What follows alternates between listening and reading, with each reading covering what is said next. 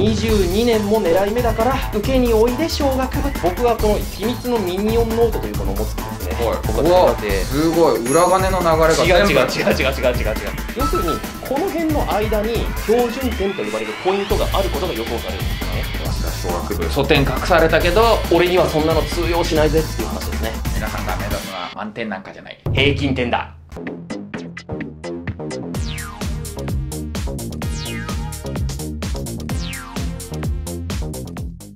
さあでは始まりましたむちゃちゃん。さあ今回は平和やどうも早稲田語学塾代表の平です。今日も森哲子ともっちゃんと一緒に動画を撮っていきたいと思います。よろしくお願いします。ちゃんです。もっちゃんはい。もうね大変なのよ。何が？早稲田小学部の入試。僕もう1年半ぐらい前に2021年は早稲田小学部入試が狙い目だって動画を出してたうん。本当にその通りだったすごかったのよ。もうだからねもう本当ねみんなね俺を称えて叩いて？称えて感謝してと言いたい。何が起きたかって。これ2021年なんですけど今年の小学部。はい。志願者が1万1305人。で受験者が1万399人。はい。で合格者が1483人出てるんですよ。はいはい。でこれってどういう数字かっていうと合格者なんですけど2020年と19年は20年1053人。19年1042人。400人ぐらい増えてるんです。ほいほい。合格者が。うんで僕はもうずっと言ってたの。要はセンター利用入試が廃止されますよと、はいはい。ね、しかも数学選択と社会科選択の人は分けられますよ。うん。うん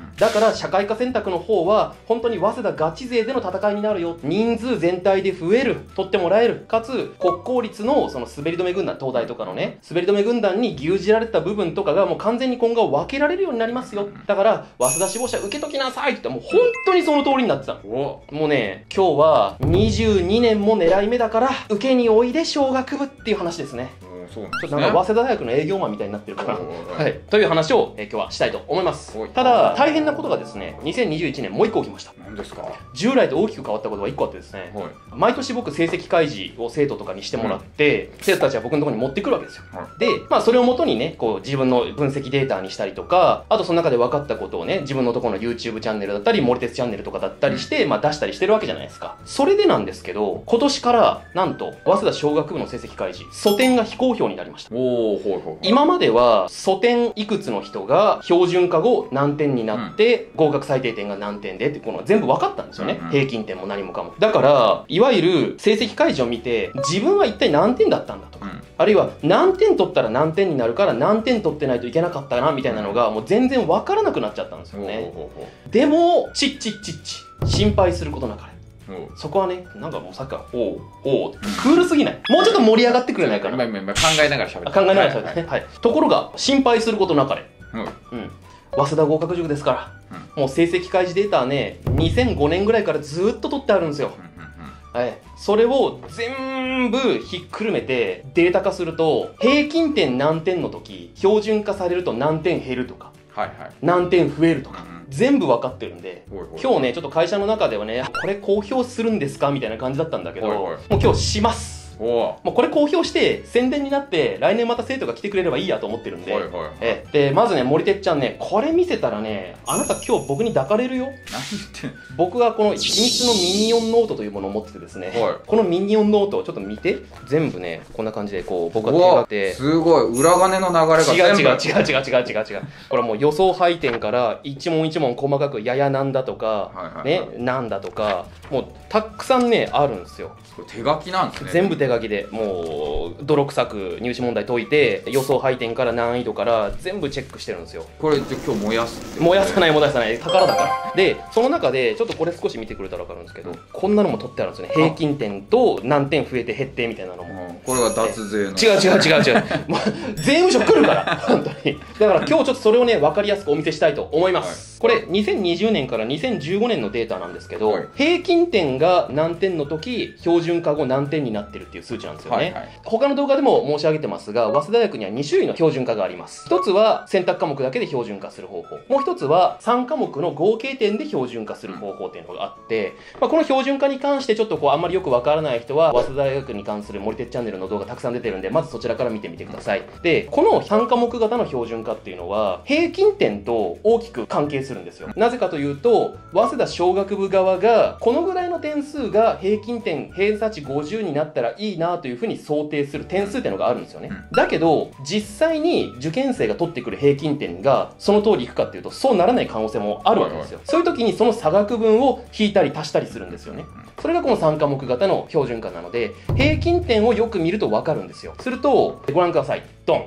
平均点が117.2の時素点が135の子が123.07になってるんですね、うんうん。標準化後点数が。でまあその他もまあこんな感じなんですけれどもここでちょっと一つ分かるのが平均点が下がれば下がるほど標準化の割合が少なくなってるのが分かりますか？はい。マイナス10.5マイナス7.8マイナス3.5ああはいはいはいはい。そして平均点が98.5になった時112点の子が117.9って上がってるんですよ点数が、この100点を平均点が下回ったあたりから標準化ってマイナスばっかりされるイメージがあるかもしれないですけどこれプラスに切り替わるんですよね。要するにこの辺の間に早稲田小学部がこのぐらいを平均点にしたいなとするいわゆる僕が標準点と呼ばれるポイントがあることが予想されるんですよね、でこれ満点は何点なんですか？満点は200点満点です。200点満点。の中でその辺に平均点を持ってきたいってい持ってきたいでここから考えると例えば106.5の時マイナス3.5されているってことを考えると106.5引く3.5するとまあ103ぐらいになるわけですよね、うん。111.5からマイナスまあ7.8計算しやすく7.5にするとまあ104ぐらいになったりするわけですよね、このように大体早稲田大学小学部が標準点偏差値50ぐらいに従っている素点っていうのが103点から105点ぐらいのところにあるんだなってことが分かるんですよ。だから自分が過去問をやるときその年の平均点が何点あるかっていうのを絶対チェックしてください。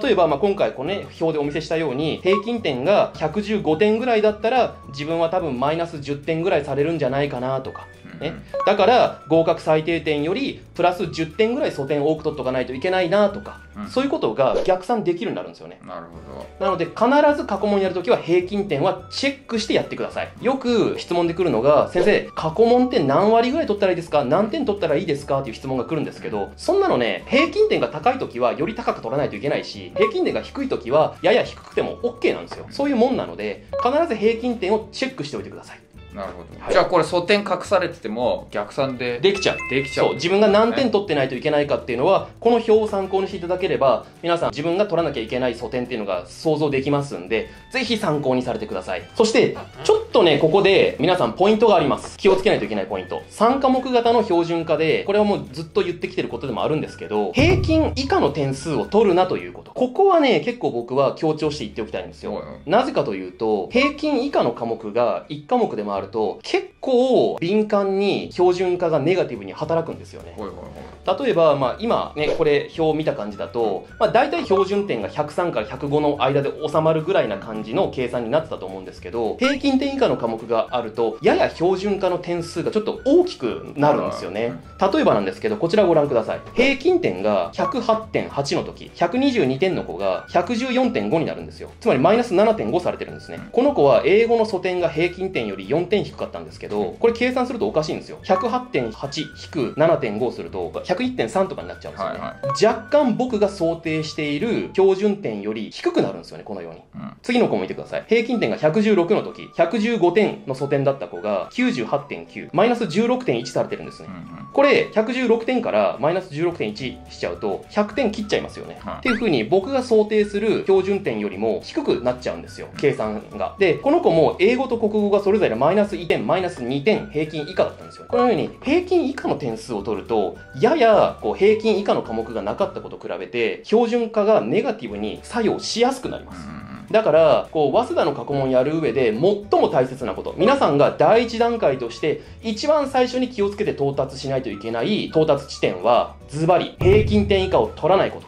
皆さんが目指すのは満点なんかじゃない。平均点だあとですね、これは当たり前の話ではあるんですけど、早稲田小学部に限らずなんですが、素点をできるだけ多く取っているといいことがあります。もううん、当たり前っちゃ当たり前なんですよ。当たり前ですけどね 素点みんなできるだけたくさん取りたいんですけど、ただ面白いことがわかるんですよ。平均点が105点の時、素点で127点を取った子が128.2って増えてるんですよね。うんさっき言ったように標準点が103から105ぐらいだろうって想定してたんですけどであればまあほぼ動かないかされてもマイナス 0. 点いくつとかの可能性が高いのに素点が高いとプラスに働いたりもするんですよね。うん、でこの現象はね少なからず見受けることがあるんですよね。まあ、素点を多く取っておくと逆に標準化の影響もやや小さくなります。うん、これどういうことかっていうと例えばさっきのデータで言うと平均点が115.2の時素点135の子がマイナス10点ぐらいされて125.2になってるデータとかありますけどこの子がもし素点で140オーバーとか取ってたら、この標準化の影響がマイナス10じゃなくってマイナス9とかマイナス 8. 点いくつとかになってる可能性もあるんですよ。